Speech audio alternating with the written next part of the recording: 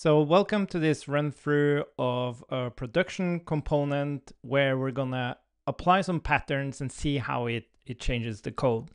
Now, the message of this video is really about like when do you apply patterns? We, we often think about patterns as something we apply as we're writing our code, but uh, I've learned that patterns are often more appropriate to apply after you've implemented something. And the reason is that you really know exactly what you're building, right?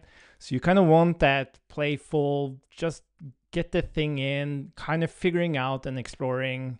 And then when you have the thing working, that's when you uh, apply patterns. Now, the the person who wrote this code uh, is an excellent engineer. I worked with him for many years. Uh, but we we work in this environment startup environment where things has like we have high momentum and things needs to go out. And and often like just working on stuff for a few hours you're really happy when it works and it's good enough right? There is such a thing as good enough. And this is definitely good enough. Um, but we're still going to use this to apply two patterns one pattern called the constructor pattern and then a pattern called explicit states uh, but before we go into the actual refactor, we're just going to look at uh, what this component actually is. So it's an upload model page. And as we can see, it manages a, a model that has a source, a name. Uh, we track if we manually change the name. It has a description, a Hugging Face token. There's an upload mechanism here that can error we have a success uh, payload based on that upload. But we also get an upload job ID, and that upload job ID is managed by a different component that actually processes the upload and then has its own success or failure. Um, and then we see that we're deriving some state, and then we're jumping into some implementation details of how the, the upload is handled where it's changing some state, running the upload. On success, it changes some state. On error, it changes some state. And then we go back and we see some uh, derived state uh, before we get into the actual UI uh, implementation, where we're dealing with these different states to show messages. Uh, we have the form itself with some implementation details on how it handles changes to those fields. Um, and uh, a button for actually uploading the, the model. And then if we have an upload job ID, we pass that job ID to a different component that gives us notice when it's completed or failed. And that's basically it. So what we're going to do first is talk about this constructor pattern. And in this example, it's uh, actually quite simple because we still have all these different states uh, defined. Uh, but as you can see, there's no implementation details anymore. So from the start of the component to the return statement, it's only about state definitions and derived state definitions. There aren't any implementation details. It's very much inspired by, by classes. So if you think about the constructor of a class, uh, there you typically assign properties to the class instance, right? Uh, and that's exactly what we're doing here.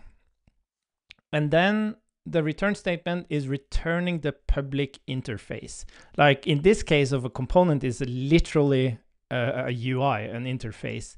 But this didn't have to be a component. This could just be an object that has uh, like uh, certain properties or methods to access the internals of the the closure here or the function. But in this case, it's an actual UI. And as we can see, as I'm uh, running through this UI, we can see that I'm now um, also refactored the change handlers to just reference a, a function, right? So basically just remove everything that has anything to do with implementation details uh, and the question is like, where do you put it? And we put it after a return statement. So we think about these functions as the methods, right, of our class. So we start by constructing the uh, the component with its state and its derived state. Then we return the actual public interface. Uh, and then we have the implementation details or the methods used. Now in a class, you would use like private or public keywords to kind of define what's private and what's public. That's not the case when you just have a function. Like what you return from the function is public, what's not returned is private.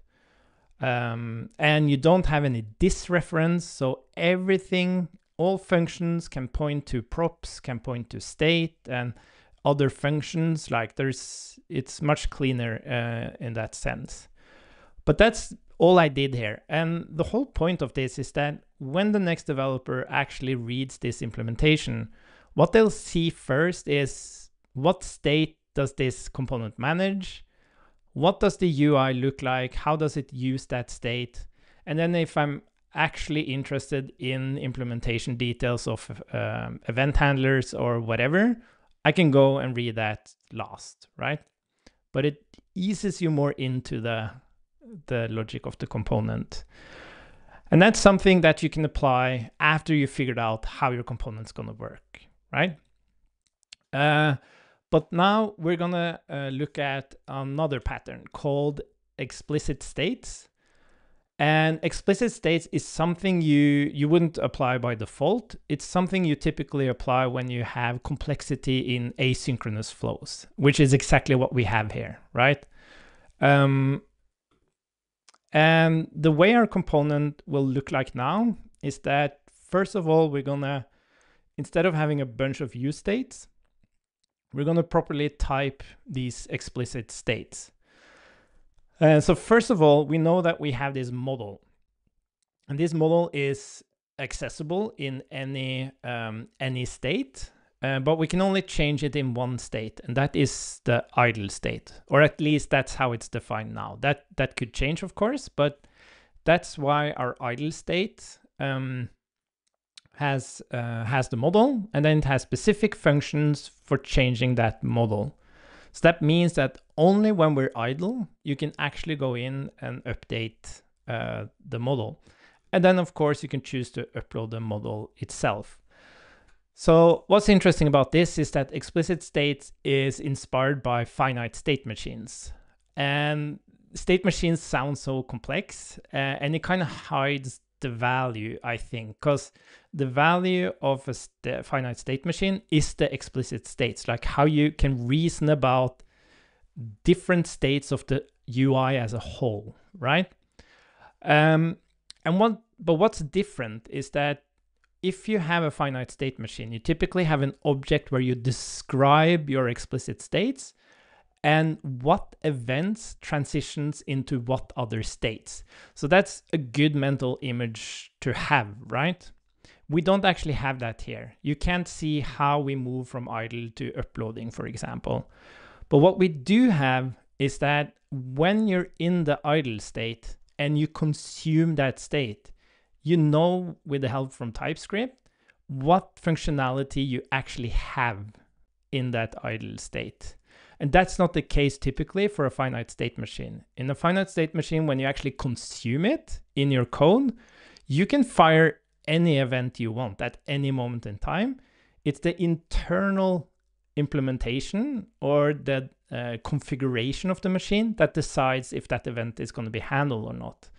But now we can actually feel confident when we write our code that, okay, when I actually am in this state, I can update the source, for example. And I find that to be more valuable than having like this declarative description of I have this state and then this thing is called and then I get into this state. Another thing is that these functions, um, they do things, right? But a state machine doesn't do things. It just transitions into states. So you have to like hook into transitions to do things like firing a request or something. And that creates um, indirection. So you have to compose in your head, okay, great, I can see these tra uh, state transitions, but what actually happens when that state transition happens? So you have to go somewhere else to figure that out. But that's not the case the case here. You just name the functionality that's available in each state, you implement the functionality in those functions, and you're off to the races. Okay, that was a long-winded explanation, so, but let's move on here. So we have an idle state, and we can move into an uploading state. During the uploading state, we still have access to the model, but we can't do anything with it. Uh, we might, during upload, uh, find out that the model actually exists. So that's something I inferred from reading all the implementation details of the original code, because uh, that wasn't an explicit concept. But here it is. Uh, but if the model doesn't exist, a job is required. And we still have access to the model, but now we also have a job ID. And the only way to move on from this uh, state is that the, the job calls job completed or, or job failed. Um, one pointer though is like uh, during uploading, there isn't any functionality. So like, how does it actually move on to the next state, right? And that's the great thing here. It's like, as we're going to see later, is that when it transitions into a state, you're going to see the code and you can not only run logic by the functions defined by a state, you can also run logic when you move into a state, right? So when we move to uploading, we fire up the, the fetch or the, the uploading request, and only that internal logic decides when it moves into model exists or job required or error. Um, and then we have job completed, uh, and we have uh, the error state. Okay, so all of these states are super explicit. Just by reading this, this type definition, you understand what this component is going to do, right? And this is a very complex component. So having this in your brain before you even read the component is useful. Uh, and as we can see, this is the union of states that builds up our um, actual state of the component. So now we don't have all these use states. We have a single uh, we have a single state where we start in the idle state. And then we have um, our upload model and we have a single derived state of like when should we uh, when should we show the open model button and that is when the job is completed or the model already exists. Okay, um, so looking through our implementation now, it's it's very much the same, only that we're now not checking on like individual state values, like uh, model name or something like that. We actually check on the state. So are we in an error state? Are we in a model exist state? Are we in a job completed state? So you get a much better sense of like, basically what state is this whole component as a whole in when I want to, to, to show uh, this UI or do something with this UI. In terms of the, um, the actual form, you could have decided to like have one idle form and then a form when you're not idle, meaning it's just completely locked down. But I chose to just um, keep the same form but check the current idle state to to to reference the functionality of making changes. Uh, but that was just a decision by me. So that's how I'm doing that. Um, and then we can see to upload a model, it's disabled when you're not uh, idle. And if you, uh, or if it has missing fields like the model. If it's busy, that's during the uploading or if the job is required. Now, um, let's see. Now we're moving to the implementation. So we have this idle function. Uh, and uh, the reason it's all uppercase is because it represents an explicit state. So we call this function and it takes a model by default that's empty. And the only thing we really need to do here is just return that explicit state where we use the current, like you can, uh, the reason we use current here is to create a union, right? So you can check current to figure out which state you're in, but you can choose an, uh, another property name here. Uh, but it's idle, we have a model, and then we have the functionality for, uh, for the different uh, things you can do in this state. So update source, does some checks on if you manually change the name and then creates like a default name. But as you can see, when we transition to new states, we just call set state and we call the explicit state with the data it needs. And the same for update name, update description, and so on. And then we go to the next state, uploading. Uploading takes the model that we're going to upload. And as I mentioned, it immediately runs that asynchronous piece of logic, uh, driving the state forward with either a success or an error where on success, we check if we have a job ID, and if we do, we move into the job required state, or we move into the model exist state. If there's an error, we of course move into the error state. And as you can see here, it returns the uploading state itself. And then when the model exists, currently you can't do anything. Uh, we just return that state. Um, and then we have the job required state, where again, it's exactly the same. Like we're calling a function, we're moving into a new state, and we job completed an error, we're at the end of this.